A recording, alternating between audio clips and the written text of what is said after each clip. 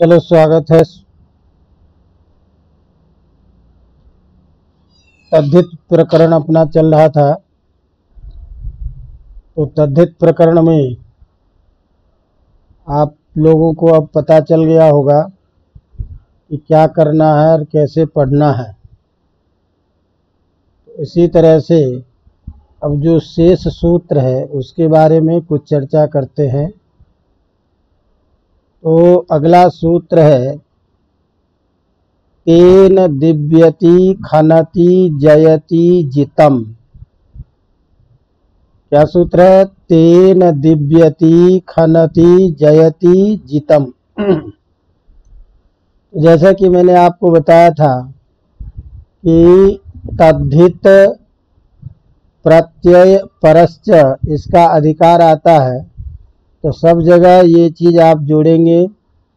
समर्थ पद की अनुवृत्ति आती है, इसीलिए समर्थ पद आ जाएगा। और हमने कहा था कि जैसा भी शब्द हो, जैसे किसी सूत्र में तस्य है तो अर्थ करेंगे षष्ठ्यंत, तीन होगा तो अर्थ करेंगे तृतीयांत। तो इस तरह से हमें स्वयं अर्थ निकालना है। अवगतम? तो अब हम आज ठक प्रत्यय आदि जो प्रत्यय विशेष बताए गए हैं, उसके बारे में चर्चा कर रहे हैं। तो पहला सूत्र है, तीन, दिव्यति, खनति, जयति और जितम। तो इसमें तीन पद का अर्थ करेंगे, तृतीयांत पद।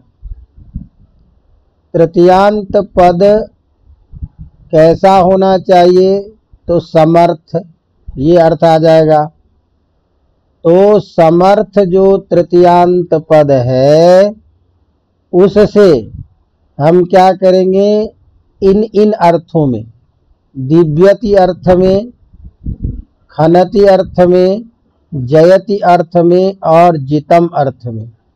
ये अर्थ को बताने के लिए ये सारे शब्द दिए गए तो दिव्यति का अर्थ होता है खेलना। दिवु क्रीड़ा। खनति का अर्थ होता है खनु अवधारणे, अवधारण करना, जयति जीतना और जितम बने भी जीतना। तो जितम जो है ये तो भूतकाल का प्रयोग है और बाकी जो प्रयोग है ये वर्तमान काल का प्रयोग है जयति। तो इस तरह से तृतीयांत जो पद होगा, उस पद से जीतने अर्थ में, खेलने अर्थ में, खनन अर्थ में और जित अर्थ में हम ठक प्रत्यय करेंगे। तो तेन जो पद है यहाँ तृतीयांत पद, वो करण अर्थ में तृतीया है यहाँ।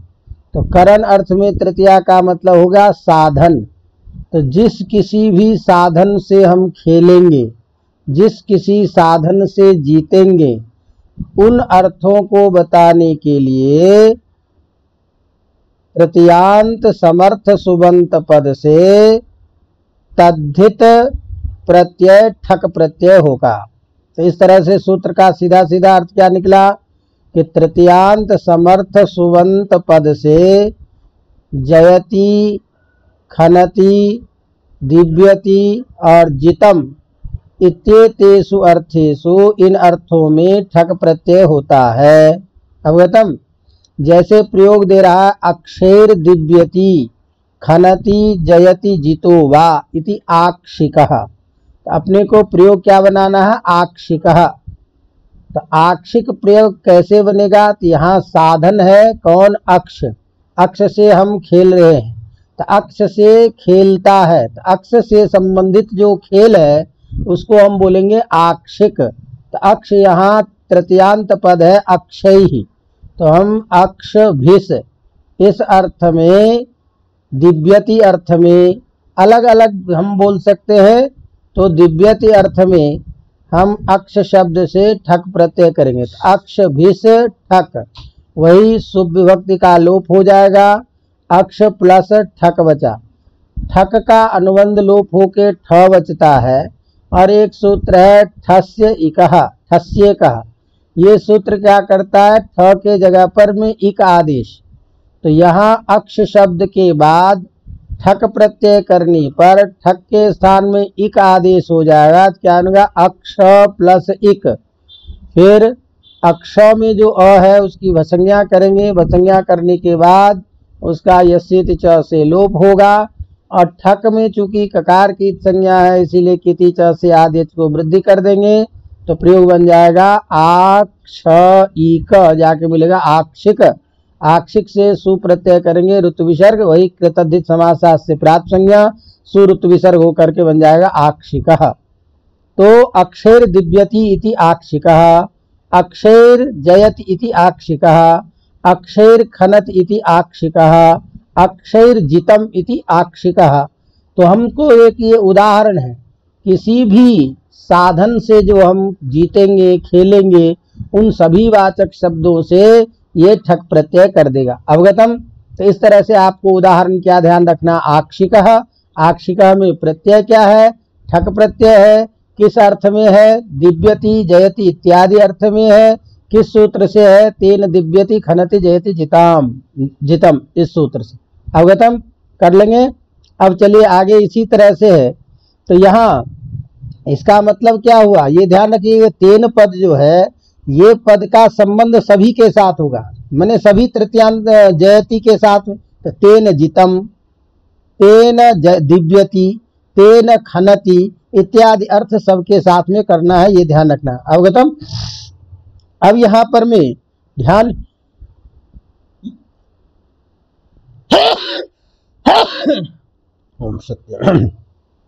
इसी तरह से देखो, अगला सूत्र है धर्मम चरती।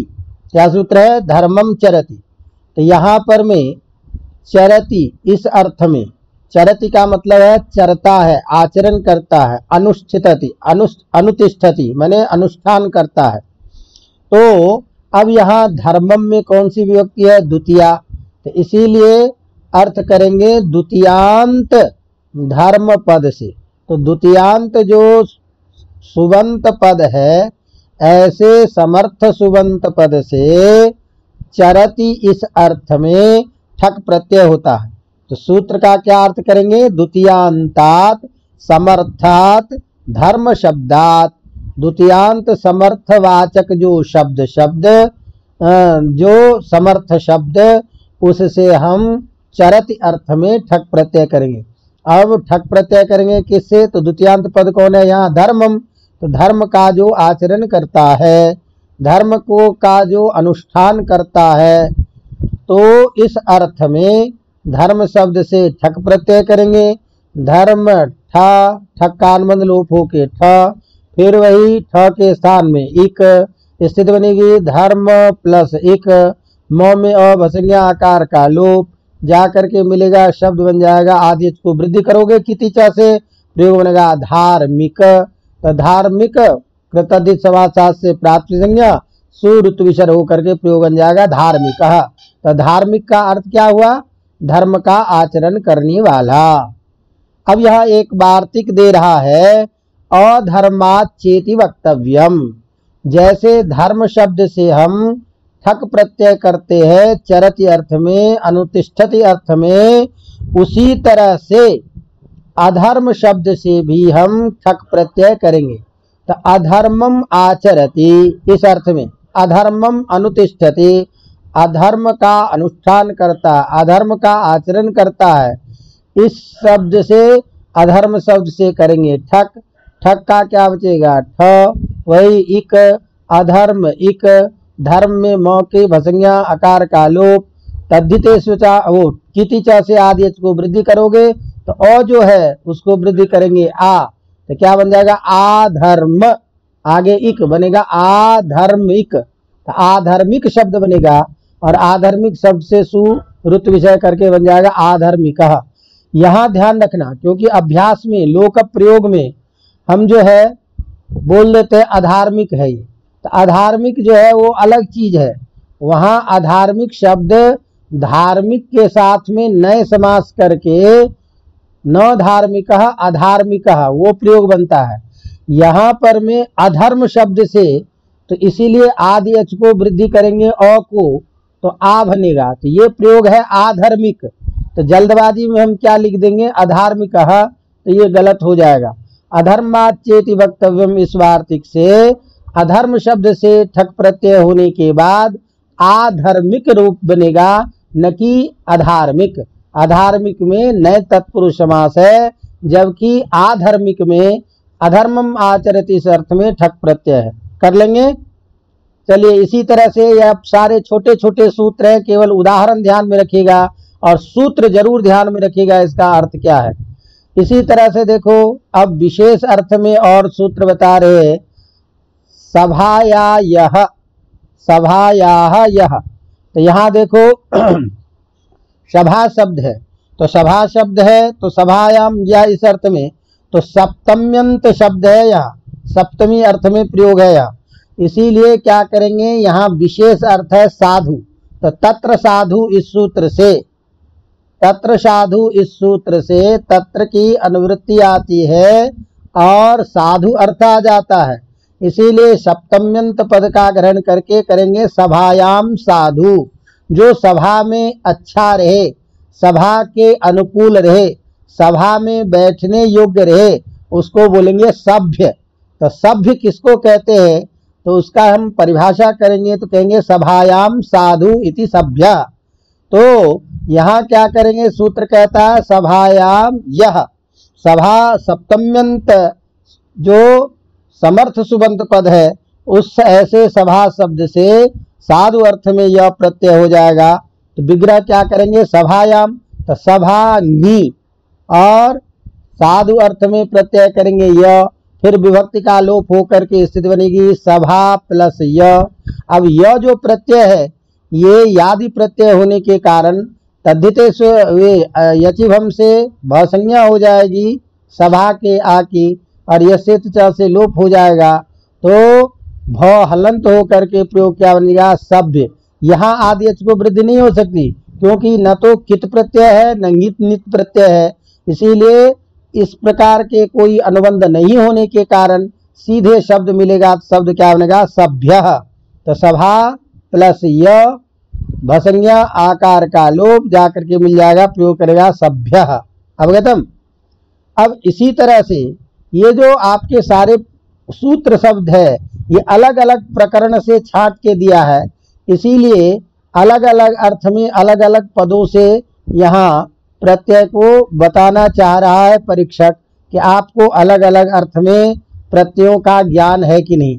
तो ध्यान में रखना है कि भाई साधु अर्थ में भी होता है इसके बाद में हमने देखा कि दिव्यति खनत इत्यादि अर्थ में होता है, चरति अर्थ में होता है, लेकिन सभी में अलग अलग पद से दिया। तो तृतीयांत पद भी दिया, द्वितीयांत पद भी दिया। इसी तरह से और तृतीयांत पद का उदाहरण दे रहे हैं क्रीत अर्थ में, मैंने खरीदने अर्थ में। तो सूत्र दिया तेन क्रीतम। तो तेन में यहाँ फिर वही क्या होगा? तृतीयांत पद। और तेन में करण अर्थ में तृतीया है। तो करण का मतलब क्या होता है? साधन। तो जिस चीज़ से हम खरीदेंगे तो किसी चीज़ से जो खरीदी हुई कोई चीज़ होगी, उस शब्द को, उस अर्थ को बताने के लिए यहाँ प्रत्यय का विधान करने जा रहे हैं। तो उसी को कहते हैं तेन क्रीतम। तो तेन क्रीतम अर्थात तेन, अर्थात तृतीयांत सुबंत साधने न तो तृतीयांत सुबंत साधक वाच, साधन वाचक शब्देन इत्यर्थ। तो तृतीयांत जो समर्थ पद होगा, ऐसे समर्थ पद से क्रीतम, खरीदा। इस चीज़ से ये खरीदा। इस अर्थ को बताने के लिए यहाँ ठय प्रत्यय होगा। अब ठक रहे या ठय रहे, रूप तो एक जैसा बनेगा, लेकिन प्रत्यय ध्यान में इसलिए रखना है कि चूँकि भिन्न भिन्न प्रत्यय बताया, कहीं ठक बताया, कहीं ठय बताया तो स्वर में भिन्नता आती है अनुबंध के अलग अलग होने के कारण। तो इस चीज़ का ये ज़रूर ध्यान रखना है कि जल्दबाजी में हम समझते हैं कि ठक करे या ठय करे, रूप तो एक ही बनेगा। रूप तो बनेगा, लेकिन परीक्षक ये ध्यान में रखता है कि उचित प्रत्यय का ज्ञान है कि नहीं इसको। इसीलिए कहाँ ठय है, कहाँ ठक है, इसका अभ्यास थोड़ा होना चाहिए। अवगतम तो यहाँ तेन क्रीतम इस अर्थ में हम ठय प्रत्यय करेंगे। तो उदाहरण दे रहा है सप्तत्याकृतम इति साप्ततिकम। तो सप्तति शब्द है। सप्तति मैंने सत्तर। सत्तर रुपये में खरीदा, मान लो। तो किसी चीज़ को सत्तर रुपये में खरीदा तो यहाँ सप्तति ही जो है, ये क्या है? साधन है। इस साधन के द्वारा कोई चीज़ जो खरीदी गई रहेगी, उस चीज़ को हम बोलेंगे साप्ततिक। तो सप्तति शब्द है। तो सप्तति शब्द ध्यान रखिए। आ विंशति आनबते विंशति से लेकर के जितने अभी आगे की संख्यावाची शब्द है, सभी एक वचन में ही हमेशा प्रयोग होता है। तो इसीलिए विंशति शब्द कैसा होना, ओ, सप्तति शब्द कैसा है यहाँ, कैसा होना चाहिए? तो तेन के द्वारा कहा तृतीयांत। इसीलिए तृतीयांत जो सप्तति शब्द है, इससे खरीदी हुई कोई चीज़ इस अर्थ को बताने के लिए तो विग्रह क्या करेंगे? सप्तति शब्द के तृतीया के वचन में सप्तत्या। मति शब्द का जैसे बोलते हैं, मत्या तो सप्तति शब्द का प्रयोग करेंगे, सप्तत्या क्रीतम। इस अर्थ में सप्तति ता, आगे क्रीत। इस अर्थ में हम प्रत्यय कर देंगे तो प्रत्यय, ठय प्रत्यय करेंगे तो ठय प्रत्यय का ठ बचेगा, ठ के स्थान में इक कर देंगे तो स्थिति क्या बनेगी? सप्तति प्लस इक। अब सप्तति में जो ई है, इसकी फिर भसंज्ञा करोगे। ठय प्रत्यय में यकार की संज्ञा हो जाने से तदित सुचामादे से आदित को वृद्धि हो जाएगी। तो स्थिति क्या बनेगी? साप्तिक साप्तिक प्राप्त संज्ञा करेंगे कृतज्ञ समासास्त्र से सु का विसर्ग करके बन जाएगा साप्तिक अवगतम इसी तरह से कहते हैं, प्रस्थेन क्रीतम इति प्रास्थिकम। तो प्रस्थ कहते हैं, ढाई किलो अपने गाँव में जो पंसेरी बोलते हैं तो पंसेरी का जो बात है, जो वज़न है, उसको प्रस्थ बोलते हैं। तो प्रस्थे न क्रीतम तो प्रस्थ से खरीदा। तो प्रस्थ का मतलब क्या हुआ? प्रस्थ का मतलब हुआ, प्रस्थ भर अनाज से खरीदा। मैंने पाँच किलो अनाज दे करके कोई चीज़ जो खरीदी गई तो प्रस्थ परिमाण से युक्त जो अनाज है उससे खरीदा। तो आप लोग देखे होंगे कि गाँव में क्या होता है। गाँव में पैसे लोगों के पास रहते नहीं, किसान के पास।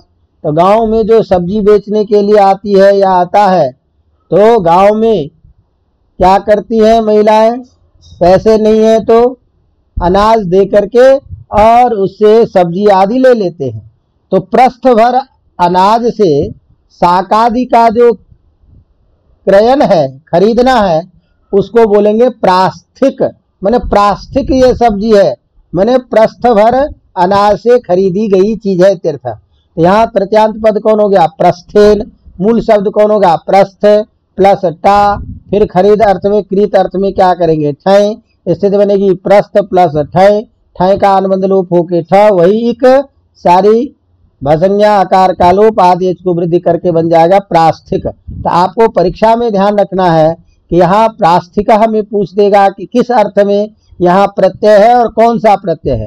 तो आपको बताना पड़ेगा कि यहाँ कृत अर्थ में, खरीदने अर्थ में प्रत्यय है और ठय प्रत्यय है। और सूत्र सामने ध्यान रखिए, तेन कृतम। अवगतम? इसी तरह से अब आगे हम विशेष प्रत्यय का विधान कर रहे हैं और वो प्रत्यय है वती प्रत्यय। वती प्रत्यय संस्कृत में अधिकतर हम प्रयोग करते हैं सादृश्य अर्थ को बताने के लिए। तो कहाँ पर में हम वती प्रत्यय करेंगे, उसको बताने के लिए सूत्र है, तेन तुल्यम क्रिया चेदवती तेन तुल्यम क्रिया चेदवती तो तेन का मतलब क्या हो गया? फिर वही तृतीयांत पद। और तृतीयांत पद जो है वो क्या है? सह के योग में। तो जहाँ तुलना की जाती है सदृशता बताई जाती है, उसमें हम तृतीया लगते, लगाते हैं। तो तृतीयांत जो पद है, उस पद के साथ में यदि किसी की तुलना होती हो, यदि किसी का सादृश्य अर्थ बताना हो तो उस सादृश्य अर्थ बताने के लिए वति प्रत्यय का प्रयोग होता है। वति प्रत्यय, तदित प्रत्यय होता है। इसी बात को हम सूत्र के अर्थ की दृष्टि से बोलेंगे तो क्या कहेंगे? तृतीयांतात तुल्यम अर्थे। तृतीयांत पद से तुल्य अर्थ में बति प्रत्यय होता।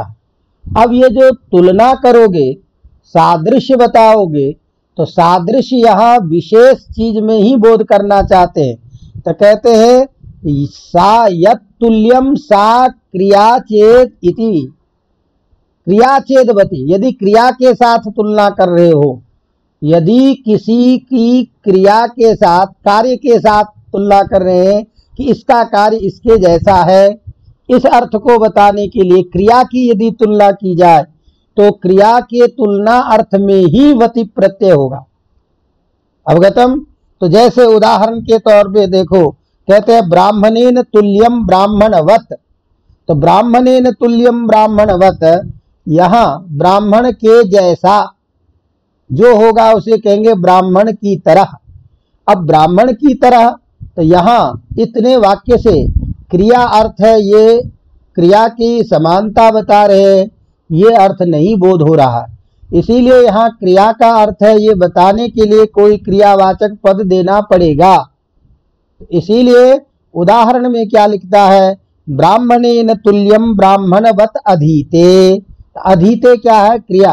तो ब्राह्मण जैसे अध्ययन करता है, नित्य क्रमिक पारायण संध्योपासनादि के बाद जैसे नित्य क्रम से अध्ययन करता है शास्त्र का, इसी तरह से अध्ययन कर रहा है। तो ऐसे अध्ययन करने की क्रिया की समानता को देख करके हम बोलेंगे ब्राह्मण वत तो ब्राह्मण शब्द से तृतीयांत पद हो गया ब्राह्मणेन।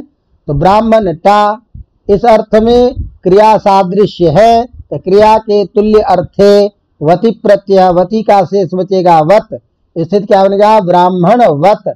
ब्राह्मण वत अब बन गया। आदेश को वृद्धि का कोई प्रसंग नहीं है यहाँ।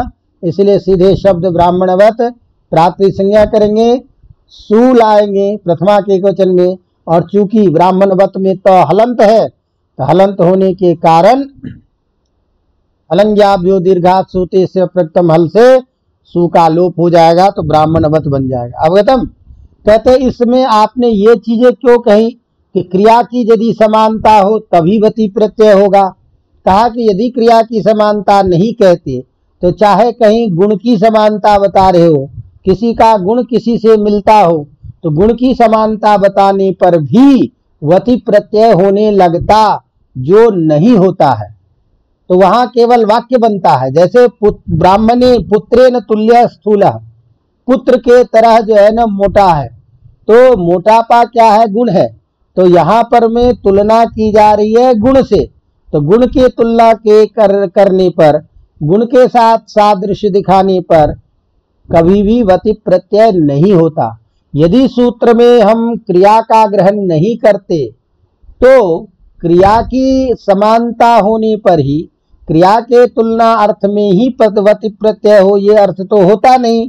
तो गुण में जहाँ समानता होती, ऐसे जगह भी वति प्रत्यय होने लगता, जो गलत प्रयोग बनता। तो वह गलत प्रयोग न बने, ब्राह्मणेन या पुत्रेन, तुल्य, स्थूल इत्यादि प्रयोग में वति प्रत्यय जिससे नहीं होता है, जिस कारण। अतः हमको सूत्र में क्रिया ग्रहण करना पड़ा। अवगतम? इस तरह से हमको यहाँ तेन तुल्यम क्रिया चेतवती इसके द्वारा आपने देखा कि क्रिया की जहाँ कहीं समानता बताई जाती हो, वहाँ संस्कृत में वति प्रत्यय होता है। अवगतम? अब आपके सिलेबस में थोड़ा सा कुछ उल्टा जो पहले का सूत्र है वो बाद में रख दिया गया। जो बाद का सूत्र है वो पहले रख दिया गया। इसीलिए अपने को इसके बाद जो क्रम से, पुस्तक के क्रम में जो प्रकरण है, उस प्रकरण के आधार पर अगला जो सूत्र है, उसको अपन देखें तो वो सूत्र है, तस्य भावस्तलौ क्या सूत्र है? बहुत महत्वपूर्ण सूत्र है, परीक्षा में पूछेगा। तस्य भावस्तलौ तो तस्य में कौन सी विभक्ति है? ष्ठी तो इसका मतलब क्या हो गया? ष्ठ्यंत समर्थ सुबंत पद से। उसका भाव भाव मने क्रिया। उसमें रहने वाला एक धर्म विशेष। तो किसी भी ष्ठ्यंत पद से, उस पद में रहने वाला जो धर्म विशेष, सत्ता, उसको बताने के लिए संस्कृत में त्व और तल प्रत्यय होता है। कौन सा प्रत्यय? त्व और तल। तो तस्य भाव अर्थात ष्ठ्यंत शब्दात। भाव अर्थे। भाव नाम धर्म विशेष। तो तदवृत्ति जो धर्म है तो ष्ठ्यंत पद में रहने वाला जो धर्म है, उस धर्म को बताने के लिए त्व और तल प्रत्यय होता है। अवगतम? तो अब इसको ध्यान रखिए, परीक्षा में प्रश्न पूछ देगा कि भाव किसे कहते हैं? तो भाव की परिभाषा जो किताब में दी गई है, उस रूप में परिभाषा भी याद रखें। तो परिभाषा के रूप में कहते हैं प्रकृति जन्य बोधे प्रकारो भाव। प्रकृति जन्य बोधे प्रकार भाव। तो प्रकृति जन्य जो बोध है प्रकृति जन्य बोधो प्रकारो भाव। तो प्रबोध प्रकृति जन्य जो बोध है प्रकृति किसे कहेंगे? जिससे हम प्रत्यय करने जा रहे हैं, वो क्या है? प्रकृति। और उस प्रकृति से होने वाला जो ज्ञान है, वही ज्ञान, अर्थात प्रकृति में रहने वाला जो धर्म है, वही प्रकार, मैंने विशेषण। वह विशेषण ही भाव लिया जाता है। जैसे उदाहरण के तौर पर, मनुष्य है तो मनुष्य में जो रहने वाला जो धर्म है अवगतम? वह धर्म क्या है? मनुष्यत्व जो हम बोलते हैं। तो मनुष्य प्रकृति है। उस प्रकृति में रहने वाला जो धर्म है, क्या? मनुष्यत्व प्रकारक अयम मनुष्य इत्याकार मनुष्यत्व से युक्त यह मनुष्य। तो यहाँ मनुष्यत्व क्या है? प्रकार। और मनुष्य क्या है? विशेष। समझेंगे ना? तो विशेषण के रूप में जो अर्थ है, जो अर्थ ज्ञान होता है, वही भाव है। और उसी भाव को बताने के लिए तो और तल प्रत्यय होता है। तो हमको लक्षण क्या बोलना पड़ेगा? प्रकृति जन्य बोधे प्रकार भाव। अवगतम जैसे उदाहरण दे रहा है, गोर भावो गोत्वम। गो का जो भाव है, गो में रहने वाला जो विशेषण है, प्रकार मैंने विशेषण। तो गो में एक विशेषण रूप में रह रहा है धर्म विशेष, वो क्या है? गोत्व। तो उसी को हम बोलेंगे गोत्वम। तो गो में रहने वाले धर्म को बताने के लिए त्व प्रत्यय तो गो शब्द से त्व करेंगे, क्या बनेगा? गोत्व। और ये त्व प्रत्यांत शब्द हमेशा नपुंसक लिंग में प्रयोग होता है, इसीलिए प्राप्त संज्ञा करके, सु करके हम बोल देंगे गोत्वम।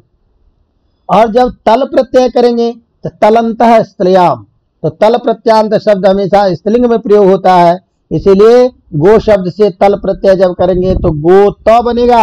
आज़ाद तस्टाप से टाप करोगे तो क्या बन जाएगा? गोता। तो गोता कह लो, गोत्व कह लो, एक ही चीज़ है। मनुष्यत्व मनुष्यत्व कह लो, मनुष्यता कह लो, एक ही चीज़ है। पशुत्व कह लो, पशुता कहेंगे। तो ये सारे के सारे उदाहरण है। तो पशोर भाव पशुत्व मनुष्य से भाव मनुष्यत्व या मनुष्यता, ये दोनों एक ही चीज़ है। तो इस सब जगह पर में जो प्रत्यय हो रहा है, त्व और तल प्रत्यय, वो किस अर्थ में? ये प्रकार अर्थ में, भाव अर्थ में, विशेषणवाची अर्थ को बताने के लिए त्व और तल प्रत्यय होता। अवगतम इसी प्रकृत जन्य बोधे प्रकारो भाव, ये जो हमने भाव का लक्षण किया, उसी को समझा रहे हैं आपके इसी उदाहरण पे। यस्मात, जैसे यस्मात गवादि शब्दात तलौ क्रियते। अर्थात जिस गो शब्द से हम त्व और तल प्रत्यय कर रहे हैं, स गवादि ही प्रकृति। वही गो आदि जो होगा, वो क्या है? प्रकृति। और उसी प्रकृति से जन्य, उत्पन्न जो ज्ञान है, क्या ज्ञान हुआ? गोत्व प्रकारक गो विशेषक। मैंने जिसमें रहने वाला गोत्व विशेषण है और गो विशेष है। इस प्रकार गोत्व प्रकारक गो विशेषक यह जो ज्ञान है, इस ज्ञान में जो प्रकार, मैंने विशेषण है, वो क्या है? गोत्वादि। वही क्या है? भाव प्रत्यय का अर्थ। अवगतम? इस तरह से जिस किसी में भी रहने वाला धर्म को बताएँगे, उस धर्म का बताने के लिए त्व और तल प्रत्यय होता। अवगतम? इसी तरह से अब अगला सूत्र दे रहा है कि गुण वचन ब्राह्मणादिभ्य कर्मणि च। गुण वचन ब्राह्मणादिभ्य कर्मणि च। ध्यान रखना। हम एक प्रत्यय पढ़ेंगे। जिस प्रत्यय को कहते हैं, आगे जैसे हमने कहा भाव अर्थ में, गुण भाव धर्म को बताने के लिए तो यहाँ भी क्या है? धर्म विशेष। उस धर्म विशेष को बताने के लिए हमने अभी त्व और तल प्रत्यय कहा था। इसी तरह से यदि कोई गुणवाचक शब्द है तो गुणवाचक जो शब्द होगा, इस शब्द से और ब्राह्मण आदि जो शब्द है, इस शब्द से उसमें रहने वाला जो भाव, मने धर्म विशेष, विशेषण और कर्म, मने क्रिया। तो भाव और क्रिया को बताने के लिए क्या होगा? शय प्रत्यय होता है। अवगतम, ये शय प्रत्यय का उदाहरण है। तो गुण वचन ब्राह्मणादिभ्य कर्म नीच तो सूत्र में क्या कहा? कर्म अर्थ में। और च से क्या अर्थ करेंगे? भाव अर्थ में। तो गुणवाची शब्द से और ब्राह्मण आदि गण में जो पठित शब्द हैं, ऐसे शब्द से क्या होगा? भाव अर्थ में और कर्म अर्थ में कर्म ने क्रिया। इस दोनों अर्थ में शय प्रत्यय होता है। कर्म दो प्रकार के होते हैं, ध्यान रखना। कर्म द्विविधम, क्रिया कार्यम च। क्रिया के रूप में एक कर्म, एक कार्य के रूप में। क्योंकि इसमें लोग समझते नहीं है, भ्रांत होकर के एक ही कह देते हैं कि एक ही तो चीज़ है। क्रिया कह लो, कर्म कह लो, एक ही चीज़ है। नहीं, अपने शास्त्र में क्रिया और कर्म में अंतर है। क्रिया और कर्म में शास्त्रीय दृष्टि से अलग अलग रूप में इसे समझाया गया है। समझ में आ रही बात? तो ध्यान रखना है। शरीर मात्र, शरीरायास मात्रम साध्यम शौचादि क्रिया। शरीर के द्वारा जो की जाने वाले कार्य हैं, उसको हम क्रिया बोलते हैं। जैसे शरीर को स्वच्छ रखना। तो शरीर के द्वारा की जाने वाली जो क्रिया है, जो कार्य है, उसको हम क्रिया बोलते हैं। और शास्त्र के द्वारा जो विहित कार्य है, उसको हम कार्य बोलेंगे।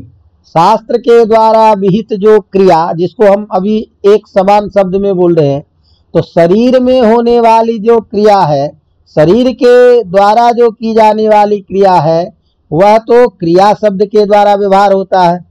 और शास्त्र ने जिस क्रिया को विधान करने के लिए कहा है, वह जो है कार्य के नाम से होता है। इत्यनयोर भेद, ये दोनों में भेद है। अवगतम? तो जैसे, ध्यान रखना कि शास्त्र ने कहा कि वे याग आदि कर्म कीजिए तो शास्त्र के द्वारा विहित जो यज्ञादि है, ये क्या है? कर्म विशेष है, कार्य है। और ये जो शरीर में रहने वाला, शरीर के द्वारा किया जाने वाला है वह क्रिया है। तो क्रिया और कार्य दोनों में अंतर है। कार्यम शास्त्र विहितम यद भवती तत्कार्यम और शरीर आयास मात्र यद भवती, सा क्रिया। शरीर मात्र साध्य जो है, वो शौचाधिक क्रिया लिया जाता है। अब ध्यान रखो तो गुणवाची शब्द से हम क्या करेंगे? शय प्रत्यय। तो जड़स्य भाव कर्म व जाड्यम। जड़ माने मूर्ख। तो जड़ में रहने वाला जो धर्म, जड़त्व तो उस जड़त्व धर्म को बताने के लिए या जड़ मूर्ख व्यक्ति के द्वारा किया गया गया जो कार्य होगा, उस कर्म को बताने के लिए हम स्वयं प्रत्यय कर देंगे। तो जड़स्य भाव कर्म वा, इस अर्थ में ष्टंत पद हो गया जड़स्य तो जड़ नस और भाव अर्थ में स्यय प्रत्यय करेंगे। स्यय का शेष बचेगा य। अवगतम। अब स्वयं में यकार की संज्ञा है तो ध्यान रखना, आदि को वृद्धि होगी। तो जड़ प्लस स्यय स्यय का अनुबंध लोप होके क्या बचेगा? य। स्थित बनी जड़ प्लस य। यादि प्रत्यय होने के कारण भसंज्ञा हो जाएगी। भसंज्ञा होने से आकार का लोप हो जाएगा।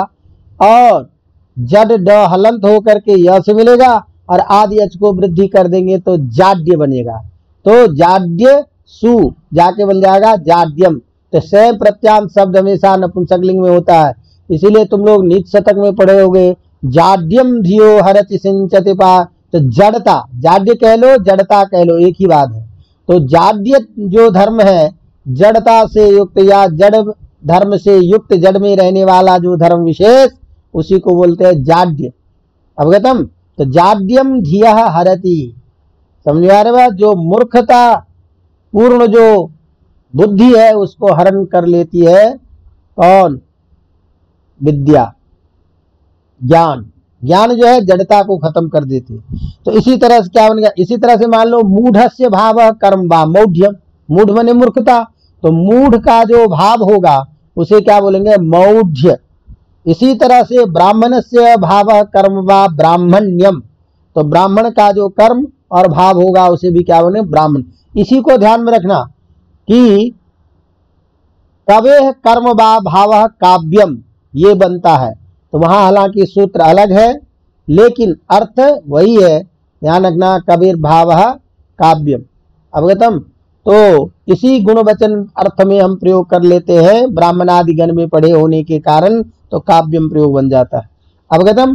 तो इस तरह से हमने क्या देखा कि जहाँ जहाँ अलग अलग शब्द आता है उस अलग अलग अर्थ में शब्द से हम प्रत्यय का विधान करते हैं। अवगतम समझ में आ रही बात? इसी तरह से देखो, अगला सूत्र है, तदस्य संजातम तारका दिव्या इतच अब हम इतच प्रत्यय पढ़ने जा रहे हैं और ये प्रयोग कई बार पूछ देता है तद अस्य संजातम। तो संजात मने होना, वहाँ यह हो गया, और तद पद यहाँ प्रथमांत है। तो तद अस्य। वह यहाँ हुआ, यहाँ उत्पन्न हुआ। समझेंगे ना तो जो चीज़ उत्पन्न होगी, उससे युक्त उस चीज़ को हम बोध करेंगे। तो उसी को कहते हैं तद अस्य, संजातम। वह इसमें हो गया या इसका हो गया। इस अर्थ में तारकादिभ्य तारक आदि शब्द से इतच प्रत्यय होगा। तो तारक आदि गिना दिया है। तो तारकादि गण में जो पढ़े गए शब्द है, उसी से हम इतच प्रत्यय करेंगे। और इस सूत्र का उदाहरण परीक्षा में पूछता रहता है, ध्यान रखना। तो जैसे तो तद में कौन सी विभक्ति होगी? प्रथमा। तो अर्थ क्या करेंगे? प्रथमांत जो पद। और क्या, कैसा प्रथमांत पद? तो संजात इस अर्थ विशेष से युक्त तारकादिभ्य तारक आदि शब्दों से इतच प्रत्यय होता है। तो तारक कहते हैं तारा को आकाश में जो तारे होते हैं, उसको तारक बोलते हैं। तो तारका संजाता अस्य तारंक तारकितम नभा। ये आकाश कैसे है? जिसमें तारे जो है, व्याप्त हो गए तारे निकल गए हैं। तो तारे निकले हुए आकाश को तारकितम नभा कहेंगे। अवगतम इसी को जल्दबाजी में बोल देते हैं तारांकित। तारांकित नहीं, तारकितम। तो तारका ये शब्द है, संजाता अस्य, इस अर्थ में। क्या प्रत्यय करोगे? इतच प्रत्यय। तो शब्द कौन है? तारक। तारक शब्द से प्रत्यय करेंगे, इतच। इतच का क्या बचेगा? इत। स्थित बनेगी तारक प्लस इत। अब इतच में चूँकि हरस्व, वो स्वर वर्ण है, इसीलिए यादि अजादि प्रत्यय परे रहने के कारण पूर्व की भसंज्ञा हो जाएगी तो तारक के क में जो अ है, उसका भसंज्ञा और यशेत से लोप हो जाएगा तो शब्द बन जाएगा तारक प्लस इतच का बचा इत। तो स्थित क्या बनी? तारकीत। शब्द बन गया तारकित। अब आगे जो विशेष्य है, जिसके लिए बता रहा है वो कौन है? नभ। तो नभ शब्द नपुंसक लिंग में है, नभ। इसीलिए इसका विशेषण नपुंसक में करेंगे सू ला करके अम करेंगे तो तार कितम नभ अवगतम तो तार कितम में प्रत्यय कौन हो गया? इतच प्रत्यय। इसी तरह से अब आप कोई भी उदाहरण ध्यान रखिएगा, जो उदाहरण, एक उदाहरण है जो अधिकतर पूछता है, पंडित हम बोलते हैं। तो पंडित में भी क्या है? इतच प्रत्यय। तो कोई चीज़ रहे इसी अर्थ को तो बताना क्या कि वो चीज़ इसमें है, वो चीज़ उत्पन्न हुई है इसमें। तो पंडित किसे कहते हैं? पंडा संजाता। पंडा संजाता अस्य। मैंने पंडा हो गई है, पंडा उत्पन्न हो गई है इसमें। तो पंडा जिसमें उत्पन्न हो जाए, उसे बोलेंगे पंडित। तो पंडा जिसमें उत्पन्न है। तो पंडा क्या चीज़ है भाई? पंडा कहते हैं, सद असद विवेकनी बुद्धि पंडा। उस बुद्धि को हम पंडा बोलते हैं, जो सही और गलत का विचार करे। कि इदमित्थम ये गलत है, ये सही है। इस प्रकार का जो विवेक पूर्ण जो ज्ञान है, उसी को हम पंडा बोलते हैं। और वह पंडा उत्पन्न हो गई है, अर्थात विवेक ज्ञान जिसको हो चुका है, ऐसे व्यक्ति को बोलेंगे हम पंडित। समझेंगे ना तो सद असद विवेकनी बुद्धि पंडा। ये पंडा का, ध्यान रखना, आजकल जो अर्थ है रूढ़ हो गया है पंडित में, पूजा पाठ वाले में, ये अर्थ नहीं है। वस्तुता पंडित विशिष्ट पद है और ऐसे व्यक्ति के लिए बोला जाता है जो सद अशद का विचार करे, सही गलत का विचार करने में समर्थ हो, ऐसा जो ज्ञानवान, विवेकी जो पुरुष है, उसी को पंडित बोला जाता है। तो इसलिए सद असद विवेकनी बुद्धि पंडा अस्सा पंडा संजाता अस्य। वो पंडा उत्पन्न हो गई है इसमें। इस अर्थ में पंडा शब्द से इतच प्रत्यय करेंगे। फिर पंडा का इतच का पंडा पंडा के बाद इतच का इत, पंडा इत। फिर ई स्वर होने के कारण, अच होने के कारण भसंज्ञा आकार का लोप करेंगे। तो पंड प्लस इत जाके मिल जाएगा पंडित। सू लाओगे सूरुत विसर करोगे, क्या बन जाएगा? पंडित। समझिए ना? इसी तरह से लज्जा अस्य संजाता इति लज्जित। लज्जा जिसमें उत्पन्न हो गई है, ऐसे व्यक्ति को क्या कहेंगे? लज्जित। त्रिषा प्यास जिसको लग चुकी है, ऐसे व्यक्ति को कहेंगे त्रिषित पुष्प जिसमें हो गया है, फूल जिसमें हो गया है, उसे क्या कहेंगे? पुष्पित। पल्लव जिसमें हो गया उसे कहेंगे पल्लवित, फल जिसमें हो गया उसे बोलेंगे फलित, पुलक जिसमें, प्रसन्नता जिसमें होगी उसे कहेंगे पुलकित, रोमांच जिसमें हो गया उसे कहेंगे रोमांचित।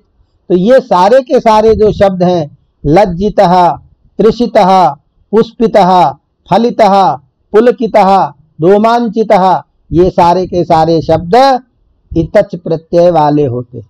अवगतम तो इस तरह से हम इतच प्रत्यय को ध्यान में रख करके ये कहेंगे कि संजात मने उत्पन्न हो गई है। इस अर्थ में संजात अर्थ में उत्पन्न होने अर्थ में प्रथमांतवाचक समर्थ पद से तारकादिगण में पठित शब्दों से इतच प्रत्यय होता है। अवगतम इसी तरह अब दूसरा प्रत्यय हम पढ़ने जा रहे हैं जिसको कहते हैं मतुप प्रत्यय। मतुप प्रत्यय कहाँ होता है? तो वही अब उसी तरह से अर्थ चल रहा है। तद अस्य अस्ति अस्मिन इति मतुप। तदस्यास तस्मिन इति मतुप। तद मने वही, कोई भी प्रथमांत जो चीज़ है इसमें या इसके पास। तो कोई चीज़ इसके पास या इसमें, इस अर्थ को बताने के लिए प्रथमांत जो पद होगा, ऐसे प्रथमांत समर्थवाचक पद से हम मतु प्रत्यय करेंगे। इसका प्रयोग अधिकतर परीक्षा में पूछता है और बहुत प्रसिद्ध है। तो तद मने प्रथमांत पाचक पद से हमको क्या करना है? मतु प्रत्यय वह चीज़ है जिसमें या जिसके पास इस अर्थ को बताने के लिए। इसी को कहेंगे संक्षेप में तदस्य अस्मिन। अस्य अस्मिन इत्यर्थ। है इसका या इसके पास और इसमें। जैसे धन है जिसके पास, इस अर्थ में। गुण है जिसके पास। लक्ष्मी है जिसके पास, जिसमें इस अर्थ को बताने के लिए हम मतु प्रत्यय करेंगे। उसी को कहते हैं तदस्ति, अस्य अस्मिन इत्यर्थे। वह चीज़ है इसके पास या इसमें। इस अर्थ में प्रथमांत समर्थ पद से, अर्थात प्रथमांत संबंध पद क्या हुआ? सत्ता, क्रिया, भूत, जो चीज़ है, उसको बताने के लिए हम मतुप प्रत्यय करेंगे। और मतुप का शेष क्या बचेगा? मत। तो जैसे देखो, गाव अस्य अस्ति अस्मिन इति। गाय है जिसके पास इस अर्थ को बताने के लिए बोलेंगे तो क्या बनेगा? गोमान। तो गो शब्द है प्रथमांत पद।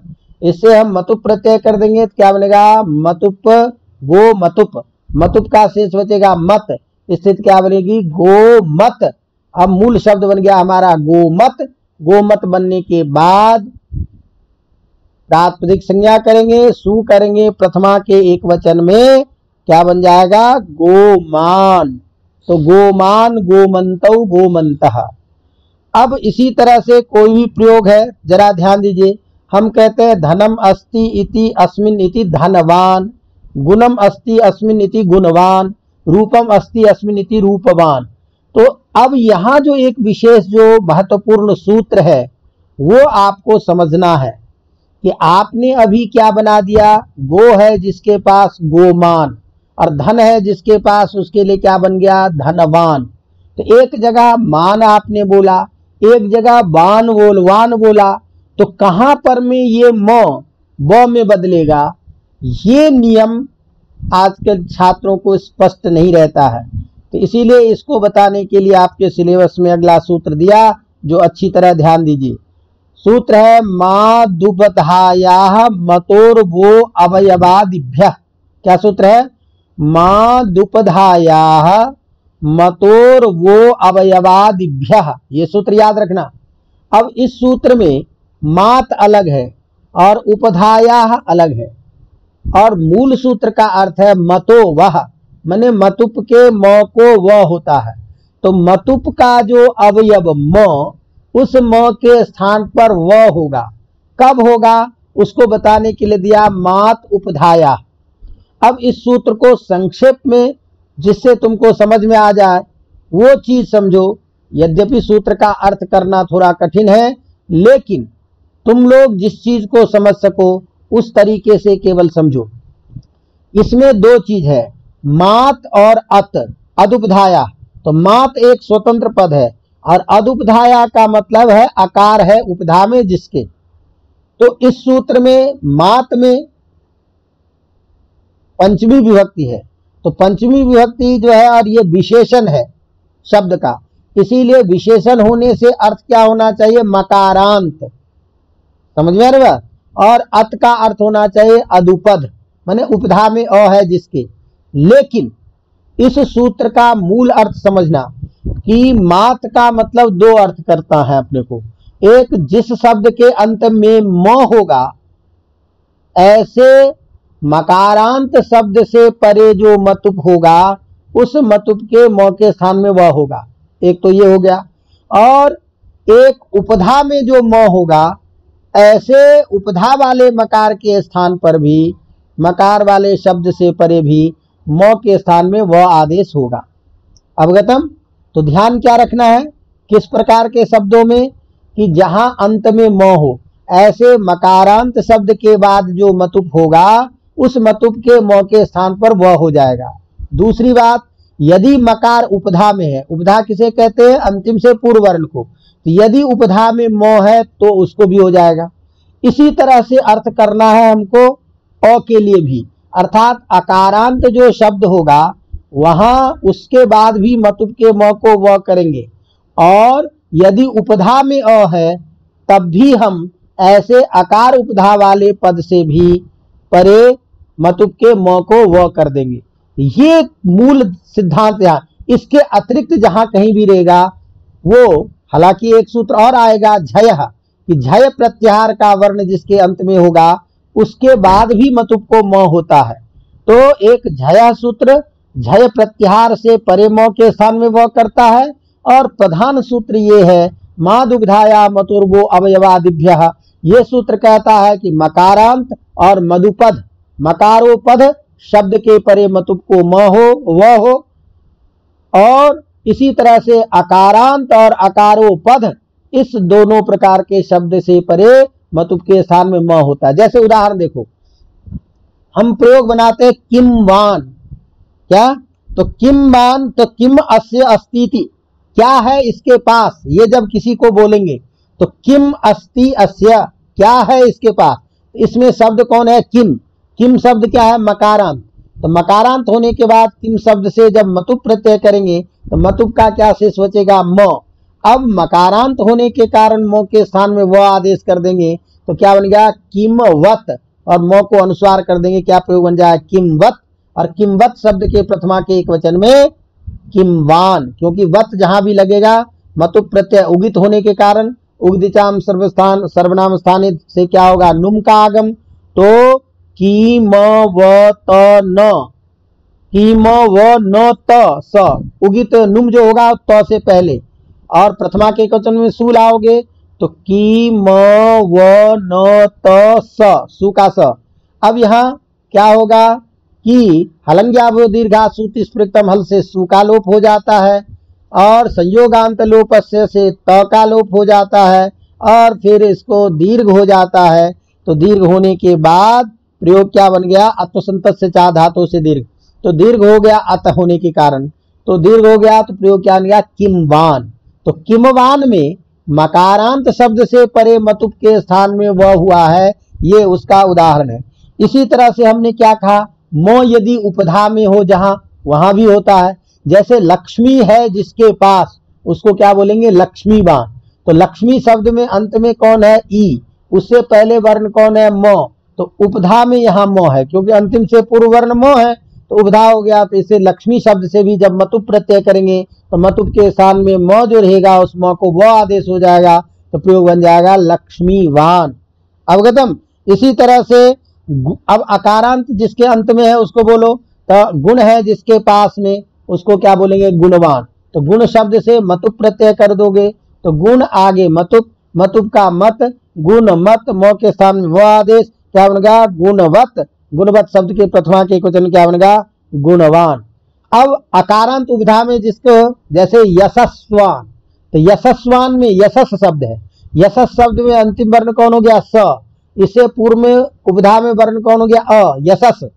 तो अ उपधा में अकारोपद होने के कारण इस मतुप के जगह पर में भी म को व कर देंगे तो शब्द बन जाएगा यशस्वत। और यशस्वत का प्रयोग क्या बनेगा? यशस्वान।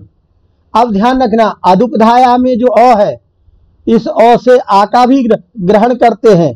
तो जैसे अकारांत के बाद में म को व हो जाएगा, उसी तरह से आकारांत से भी परे म को व हो जाएगा। तो इस तरह से यहाँ हम इसको जैसे मेधा अस्ति अस्य इति मेधावान। तो मेधावान में मेधा शब्द आकारांत है। इसके बाद जब हम मतुप करेंगे, तब भी मौ के स्थान में वह हो जाएगा तो प्रयोग बन जाएगा मेधावान। इस तरह से आपने बहुत सारे सूत्रों को देखा। इस तरह से हमें सूत्र, उसका उदाहरण और उसमें प्रत्यय, ये तीन चीज़ें जो है इसको ध्यान में रखिए। इसी तरह से और जो अवशेष सूत्र बच गया है, उसकी चर्चा फिर कल करेंगे। तो इसी के साथ हम आप सबसे विदा लेते हैं और उम्मीद करते हैं कि आप लोग जितनी मेहनत मुझे करवा रहे हो, उतने ही आधार पर आप लोग तैयारी कर रहे होंगे या करेंगे। नहीं तो ये बड़ी नाइंसाफ़ी होगी कि अनावश्यक फिर मैं आप लोगों के लिए इतनी मेहनत क्यों करूँ? सभी लोग अपने अपने घर में बैठे हैं और मैं आप लोगों के लिए घर में भी बेचैन रहता हूँ। तो ऐसी बातें क्यों करें? तो कम से कम इस चीज़ को ध्यान में रख करके आप लोग अध्ययन को ढंग से करें, देखें, पढ़ें, सुने और आगे बढ़ाते रहें इसको, ताकि हमारी मेहनत दूर तक छात्रों के पास में पहुँचे। तो समझेंगे कि एक ये भी कार्य कम से कम हमने किया। कि अधिक से अधिक छात्रों को संस्कृत बताया, पढ़ाया उसका कुछ लाभ मिला।